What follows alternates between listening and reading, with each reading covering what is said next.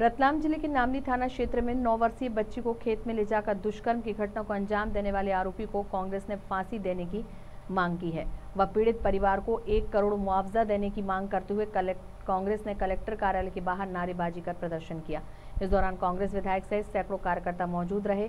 इससे पूर्व कल रात सैलाना कांग्रेस विधायक हर्ष विजय गहलोत, आलोड विधायक मनोज चावला, शहर अध्यक्ष कारवा कार्यवाहक अध्यक्ष पीड़ित परिवार से मिलने मेडिकल कॉलेज पहुँचे थे।